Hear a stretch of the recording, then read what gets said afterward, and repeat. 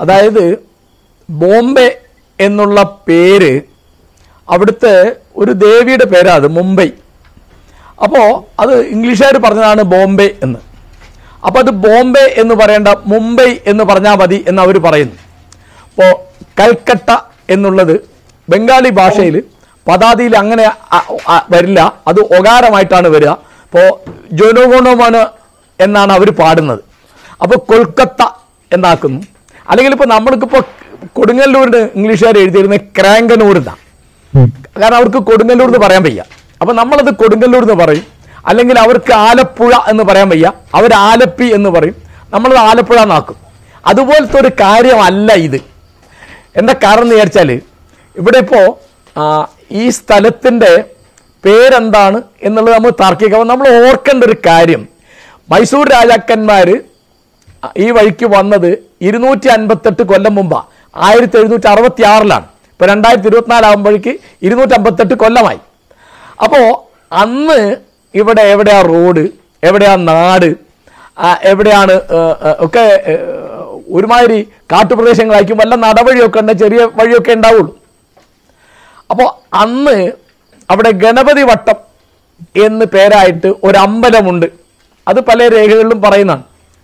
ഗണപതി വട്ടം എന്നൊരു അമ്പലമുണ്ട്. പിന്നെ തീർച്ചയായിട്ടും ആ അമ്പലം ഉണ്ടാക്കിയത് അത് ഐതിഹ്യമാണ്. പുറകീഴ എന്ന പേരായ രാജവംശമാണ്. അതുകൊണ്ട് ആ പ്രദേശത്തിന് പുറകീഴ നാട് എന്ന് പറഞ്ഞിരുന്നു. പിന്നെ വേറെ ചിലത് ഞാൻ കണ്ടത് കിടങ്ങനാട് എന്ന് ആ ഏരിയക്ക് പറഞ്ഞിരുന്നു. അങ്ങനെ എന്താ ഇതൊക്കെ മാറുന്നത് എങ്ങനെയെന്ന് വെച്ചാൽ ഇപ്പോൾ ഞങ്ങളുടെ നാട് ഇപ്പോൾ എന്റെ നാടിന്റെ കാര്യം എന്റെ കുട്ടിക്കാലത്തുള്ള കാര്യം വെച്ചാൽ പന്നിക്കോട് അംശം പന്നിക്കോട് പഞ്ചായത്താണ്. പിന്നെ പന്നിക്കോട് പഞ്ചായത്ത് മാറി കൊഴുത്തൂർ പഞ്ചായത്തായി. പന്നിക്കോട് അംശം മാറി അത് കക്കാട് അംശം കാരശ്ശേരി ദേശമായി. അങ്ങനെ പല തരത്തിൽ ഇങ്ങനെ സ്ഥലപ്പേര് മാറപ്പോൾ കിടങ്ങനാട് എന്ന് ഈ ഏരിയക്ക് പേരുണ്ടായിരുന്നു. പിന്നെ ഗണപതി വട്ടം എന്ന് പേരുണ്ടായിരുന്നു എന്ന് തലശ്ശേ ക്ഷമിക്കണം സുൽത്താൻ ബത്തേരി മുനിസിപ്പൽ മുനിസിപ്പാലിറ്റിയുടെ രേഖകളിലുണ്ട്. അതുള്ളതാണ് അതിപ്പോൾ നെറ്റിൽ നോക്കിയപ്പോൾ ഞാൻ കണ്ടു അത് അവരങ്ങനെ രേഖയിലുണ്ട്. അപ്പോൾ ഇതിന്റെ ചരിത്രം എന്താണ് എന്ന് പറയേണ്ടത് മുനിസിപ്പാലിറ്റി അല്ല. മുനിസിപ്പാലിറ്റിക്ക് അറിയുന്ന അവർ എഴുതി ഇത്രയേ ഉള്ളൂ. അപ്പോൾ ഗവേഷകന്മാർ പറയുന്നത് അനുസരിച്ചാണെങ്കിൽ ഈ പുറകീഴ നാട് എന്ന് പുറകീഴ എന്ന് പറഞ്ഞ ചെറിയ രാജവംശമാണ്. അത് പഴയ കാലത്തെ വടക്കൻ കോട്ടയം എന്ന് പറയുന്ന രാജവംശത്തിന്റെ ഭാഗമാണ്. അങ്ങനെയൊക്കെ അതൊക്കെ പഴയ കാര്യങ്ങളാണ് പല കാര്യങ്ങളാണ്. അപ്പോൾ അതിപ്പോൾ നമ്മൾ തർക്കിക്കേണ്ട ഒരു വിഷയമല്ല ഇത് ഗവേഷകന്മാർ കണ്ടുപിടിക്കേണ്ട ഒരു കാര്യമാണ്. ഇവിടെ ഇപ്പോഴുള്ള പ്രശ്നം ഒരു ലോക്സഭാ സ്ഥാനാർത്ഥി അവിടുത്തെ ഒരു ആ തന്റെ മണ്ഡലത്തിൽ ഒരു പ്രശ്നം ഉന്നയിക്കുകയാണ്. എന്താണ് പ്രശ്നം? ആ സ്ഥലത്തിന്റെ പേര് ഗണപതി വട്ടം എന്നാക്കണം. സുൽത്താൻ ബത്തേരി എന്ന് പാടില്ല. അതൊരു അക്രമിയുടെ പേരാണ്. അത് പറയാം അദ്ദേഹത്തിന് സ്വാതന്ത്ര്യമില്ല സ്വാതന്ത്ര്യം പക്ഷേ ഈ പറയുന്നതിന്റെ ഉദ്ദേശം എന്താണ്? അതിന്റെ സന്ദർഭം ഏതാണ്? എന്ത് പറയുമ്പോഴും അതിനൊരു സന്ദർഭത്തിന്റെ ഔചിത്യം എന്നൊരു സാധനം ഉണ്ടല്ലോ. ഒരു ടെക്സ്റ്റിന് ഒരു കോണ്ടെക്സ്റ്റുമായിട്ട് ബന്ധം വേണം. എന്താണ് കോണ്ടെക്സ്റ്റ് കോണ്ടെക്സ്റ്റ് എന്റെ കണക്കിന് വളരെ ലളിതമാണ്. അതായത് മോദി ഗവൺമെന്റിന്റെ ഒരു പ്രശ്നവും ചർച്ച ചെയ്യാതിരിക്കുക. ഇപ്പോൾ അൻപത് രൂപയ്ക്ക് പെട്രോൾ തരാം ഭരണം കിട്ടിയാൽ എന്ന് പണ്ട് പറഞ്ഞ ആളാണ് സുരേന്ദ്രൻ. ആ പെട്രോൾ എവിടെ? ആ അൻപത് രൂപയുടെ വില നിലവാരം എവിടെ?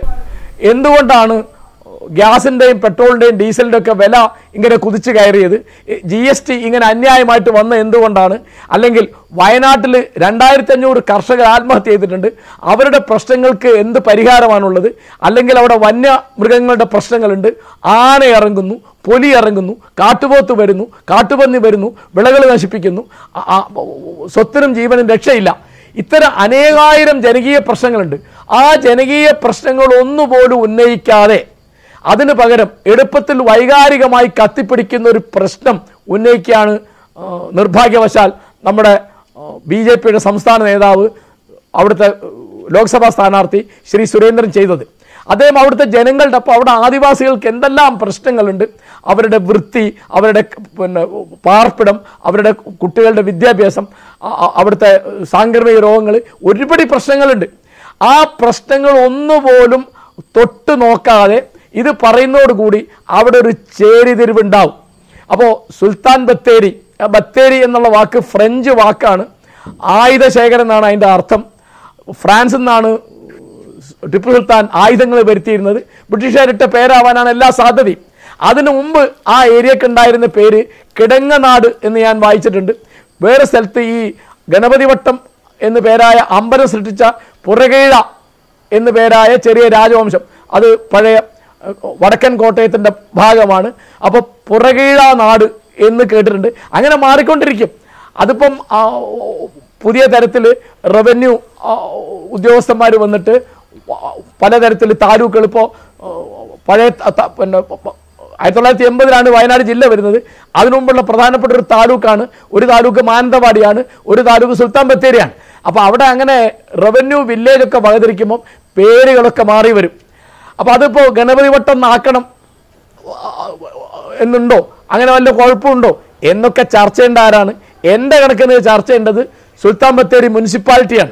മുനിസിപ്പൽ കൗൺസിൽ കൂടിയിട്ട് അവിടുത്തെ ഭൂരിപക്ഷം അനുസരിച്ച് അല്ലെ ജനങ്ങൾക്ക് അങ്ങനെ ആവശ്യമുണ്ട്. അത് നമുക്ക് ആലോചിക്കാം. ആലോചിക്കാം.